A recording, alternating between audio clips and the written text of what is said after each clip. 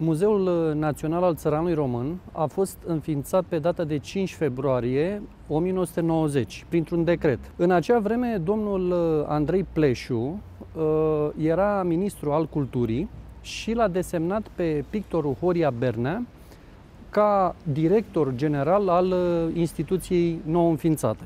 Horia Bernea era fiul lui Ernest Bernea, o personalitate marcantă a intelectualității românești interbelice. Ernest Bernea a fost un uh, spirit polivalent, având uh, preocupări vaste într-o arie interdisciplinară. Studiase în București cu profesorul de logică și de metafizică Naionescu, era membru al școlii sociologice a lui Dimitrie uh, Gusti, iar în Franța audiase uh, cursurile antropologului Marcel Moss. Horia Bernat și-a constituit la rândul lui o echipă interdisciplinară formată din uh, etnologi, etnomuzicologi, muzeografi, cercetători care lucraseră anterior la Institutul de Folclor. Aș menționa câteva nume, uh, Irina Nicolau, Ioana Popescu, Georgeta Roșu, Speranța Rădulescu și teologul Costion Nicolescu. Într-o istorie a Muzeului Țăranului Român, scrisă prin 2000, Irina Nicolau asemăna momentul nașterii Muzeului Țăranului Român cu o minune. La fel, referindu-se la noaptea de 21 spre 22 decembrie 1989, scria că în tot ceea ce a realizat echipa Bernea la Muzeul Țăranului Român, au încercat să păstreze un, uh, spiritul acelei nopți. Prin urmare, Muzeul Țăranului Român a apărut din acea efervescență uh, post-revoluționară, cumva ca o replică la cei 45 de ani de ateism, de altfel, tot Irina Nicolau, când a vernisat prin 1991 o expoziție în care au etalat uh, varietatea ouălor de Paști, nota cam așa, după 45 de uh, ateism, expunem la Muzeul Țăranului Român ouă ca o revanșă. Prin urmare, Horia Bernea împreună cu echipa lui au uh, încercat să identifice esența culturii tradiționale țărănești și uh, Bernea a ales ca simbol central al culturii românești tradiționale crucea. Nu este întâmplător faptul că primele achiziții pe care uh, le-au făcut au fost crucile din piatră. Unele sunt chiar în spatele meu, în fața acestei biserici din uh, Bejani. La fel, nu este întâmplător faptul că expunerea permanentă a muzeului a fost inaugurată prin cruce. Crucea s-a intitulat prima expoziție. Cum s-ar explica acest fapt? Spre deosebire de uh, maniera clasică, etnografică de expunere, Horia Bernea a uh, creat și a militat uh, pentru o muzeografie mărturisitoare, așa o numea el. Ba chiar notează undeva Uh, se întreba de ce să demonstrăm omniprezența crucii. Pentru ca omul de azi, oamenii de azi, să înțeleagă că nu pot trăi fără cruci. Care ar fi uh, elementele caracteristice ale muzeografiei mărturisitoare, potrivit lui Bernea?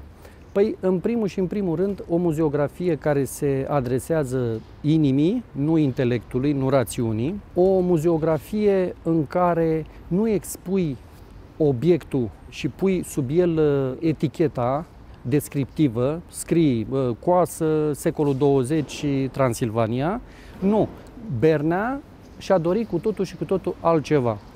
Um, un, un muzeu care să, să etaleze mai degrabă ambianța, atmosfera culturii tradiționale românești. Această muzeografie, așa cum o înțelegea el, trebuie să-l facă pe vizitator să înțeleagă și să creadă că, citez, lumea este bună prin scop, frumoasă prin facere, complexă prin uh, viețuire și spirituală prin materialitate. Una din uh, caracteristicile uh, manierei uh, expoziționale uh, profesate de Horia Bernea era uh, aceea de a pune în uh, dialog un obiect slab, de pildă uh, o maramă sau un uh, ștergar, lângă un obiect tare, de pildă pomul cu cruci. Simpla descriere a expoziției permanente de la uh, parterul muzeului, uh, ansamblu care uh, poartă denumirea de legea creștinească, este elocventă pentru ceea ce a încercat uh, Horia Bernea să aducă drept noutate în orizontul muzeografiei. Sălile s-au intitulat încă de la început Puterea crucii, frumusețea crucii, folosul crucii, reculegere, moaște. În timp, acestora, deci acestui nucleu uh, expozițional, li s-au adăugat și alte săli. Irina Nicolau, în prelungirea uh, sălii uh, Cruce peste tot, care ulterior a fost redenumită Ferestre, a creat o săliță dedicată timpului, propriu-zis obiectelor perisabile, pe care în mod normal uh, uh, nu le valorizăm, nu le acordăm prea multă atenție. La fel, la etaj, Horia Bernea a simțit nevoia să creeze uh, inițial un salon dedicat culturii tradiționale românești, Triumf s-a numit, uh, în ideea că uh, civilizația românească a fost una cu adevărat triumfală. Ulterior, cum vă spuneam, au uh, fost înființate uh, cumva în dialog cu aceste uh, săli Alte, altele, uh, de pildă, într-o încăpere a fost adusă casa uh, Mogoș, în altă încăpere învecinată cu aceasta uh, a fost creată sala Hrana. Ultimul proiect al lui Horia Bernea s-a numit Munca.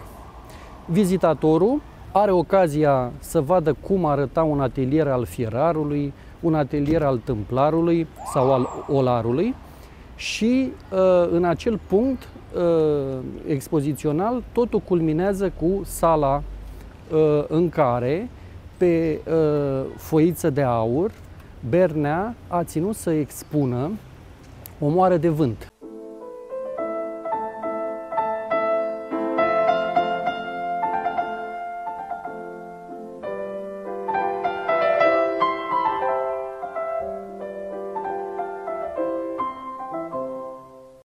Ultimul proiect uh, al domnului Horia Bernea s-a intitulat Munca și uh, vă spuneam că vizitatorul are ocazia să vadă cum arăta uh, un atelier de tâmplar, un atelier de fierar sau de olar și punctul uh, culminant al traseului este marcat de o moară de vânt pe care Horia Bernea a expus-o, a etalat-o pe foiță de aur, arătând prin aceasta că un obiect utilitar poate fi privit și poate fi valorificat și ca obiect estetic. Un obiect utilitar ca moara este și frumos în același timp.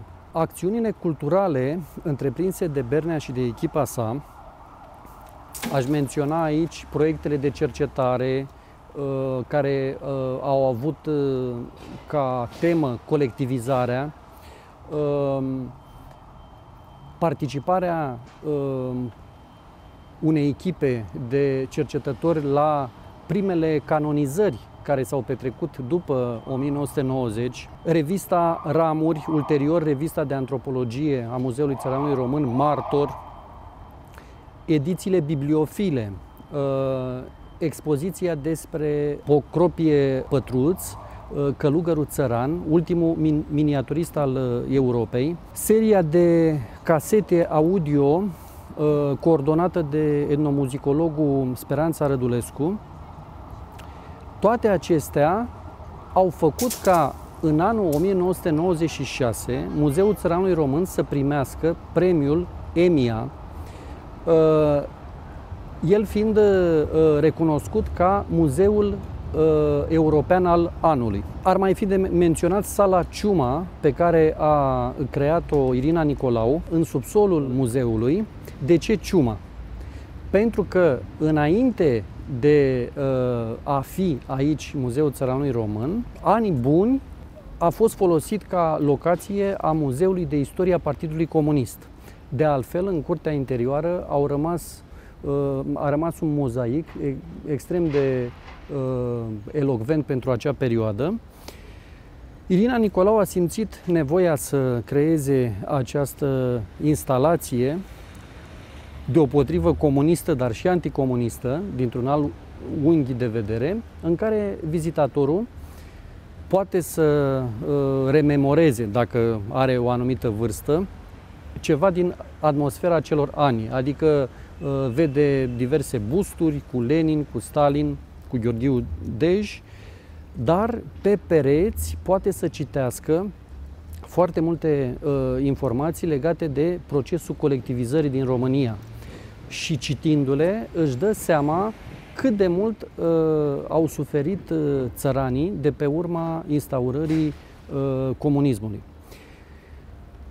Colaboratorii uh, lui Horia Bernea, după trecerea sa la Domnul în anul, în decembrie 2000, au uh, căutat să uh, continue această nouă muzeografie, uh, o muzeografie care, cum spunea el, pune accent pe rânduială și um, care, pe de altă parte, um, are drept scop să îl ajute pe vizitator să problematizeze asupra sensurilor profunde ale vieții și ale morții.